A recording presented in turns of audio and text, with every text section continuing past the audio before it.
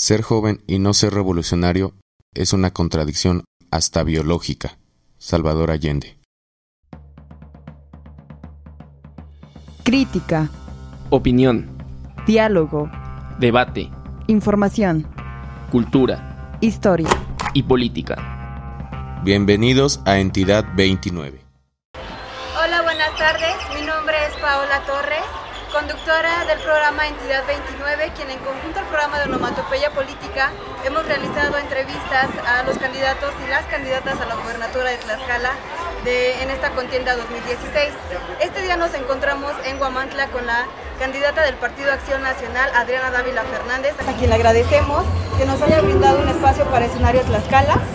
Muchas gracias y buenas tardes. Muchas gracias, muchas gracias a ustedes por la oportunidad de platicar con su auditorio es un honor para mí y un placer que podamos platicar. Como parte de su trabajo dentro de esta contienda electoral, usted ha visitado diversos municipios donde ha escuchado de viva voz las necesidades de la gente, sus inquietudes, sus necesidades, su protesta incluso.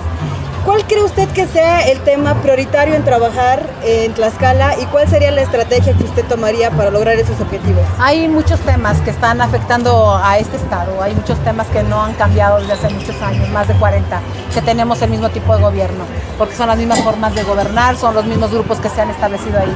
Yo puedo decirles con toda certeza que para nosotros es muy importante que hay varios temas prioritarios, entre ellos el empleo. La gente está eh, ansiosa de que puedan tener oportunidades para trabajar y mejorar sus percepciones económicas. El otro tema es la seguridad. Como tú has visto, la gente tiene temor a salir a la calle porque saben que pueden robarle sus casas o robarles a ellos o robar sus negocios, a quienes tienen la oportunidad de tener un negocio.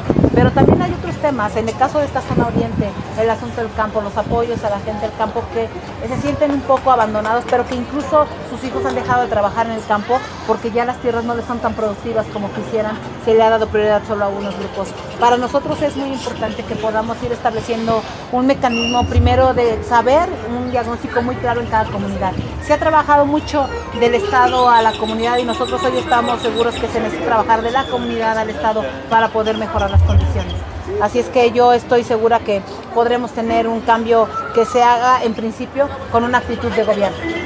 Escenario Tlaxcala es un proyecto conformado por más de 70 jóvenes de diversos municipios de Tlaxcala. Es por ello que le pregunto cuáles son sus propuestas respecto al tema de juventudes. Tenemos varios asuntos, pero el más importante me parece son dos. Empleo para, jóvenes que están buscando una oportunidad de poder mejorar sus condiciones de vida, que quizá ya no pueden terminar una carrera universitaria. Nuestra primera opción es que terminen una carrera universitaria o que en su defecto puedan tener otras opciones de carreras técnicas que puedan ser acordes con la parte de la identidad y algunas otras cosas. El segundo tema es que ellos puedan tener acceso también a la educación.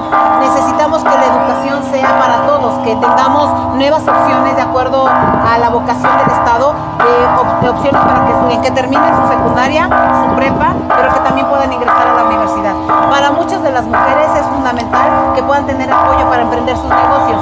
Jóvenes, mujeres jóvenes me refiero. O también eh, es importante todos los programas que tienen que ver con combatir las adicciones o combatir la inseguridad, la delincuencia. Para nosotros es fundamental que ellos puedan tener una integración muy clara y lugares donde desarrollarse. El deporte que hoy fue nuestra presentación de nuestra propuesta de los 10 puntos en materia de deporte y por supuesto eh, toda la parte de recreación.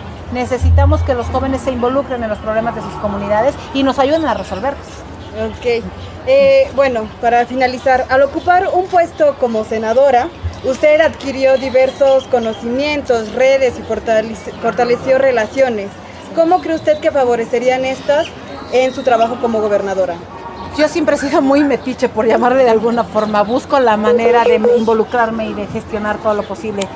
Tlaxcala en mi trabajo legislativo me conoce por algunas cosas, en la parte de impulso, impulso de leyes, pero también Tlaxcala me puede sentir en sus calles. Yo en Guamantla, por ejemplo, logramos impulsar el Museo de la Virgen, logramos eh, el Boulevard eh, que pudimos también generar ese recurso. El hospital de Guamantla le bajamos también recursos. Yo gestioné más de 100 millones de pesos para hospitales, gestioné eh, recursos para más de 16 unidades deportivas en el estado. Yo gestioné recursos para modificar algunos unos parques y rehabilitarlos, gestioné recursos para el drenaje de algunas otras calles. Es decir, no me la pasé de noche ni durmiendo en el Senado, busqué y toqué todas las puertas necesarias para que esto pudiera ser. por último quisiera yo terminar con un comentario como ciudadana tlaxcalteca, como una ciudadana cansada de tanta corrupción, de tanta injusticia, cansada también de muchos discursos políticos que finalmente cuando llegan algunos eh, mandatarios al poder, pues no se cumplen, no cumplen esos objetivos, ¿no? Es por ello que yo quisiera que este sea un compromiso, realmente un compromiso para la gente, que siempre se trabaje en pro de la gente, en pro del desarrollo de este Estado. Es por ello que, le invito a que sea un compromiso. No solo el compromiso, tengo un compromiso con el combate a la corrupción y la transparencia eh, y quiero decirles a ustedes que estoy muy eh, cerca de, más bien estoy, estoy muy cierta de que ese es un tema fundamental para el desarrollo de las comunidades y de los estados. Yo presenté mi declaración 3 de 3 desde ahí que inicié mi campaña, pero no solo presenté mi declaración 3 de 3 diciendo lo que tenía, si había un conflicto o no de interés con mis familiares y si tenía algún bien que están declarados. Dije la verdad en mi declaración. En mi declaración está escrito todo lo que yo soy y todo lo que tengo, sin, sin pretextos, dirían por ahí algunos, pero no puse pretextos para decir la verdad. Revisando las tres declaraciones de los tres candidatos que estamos hoy con posibilidades de plantear, me parece que ahí se puede evidenciar lo que cada uno de nosotros toma respecto del tema de la transparencia. Hubo muchas mentiras de los candidatos en lo que están declarando. No es posible que esa misma conducta no pueda cambiarse y no puedes tú ser eh, transparente en unas y después decir que son que no eres transparente en otras. La conducta de nosotros no cambia de la noche a la mañana y yo estoy convencida de que lo primero que uno que tiene que hacer al llegar al gobierno es cambiar esta, esta actitud y por supuesto combatir la corrupción frontalmente. Agradecemos mucho este espacio, sabemos que es cansado, es mucho tiempo, que usted tiene una agenda muy ocupada. Le agradecemos el espacio y le compartimos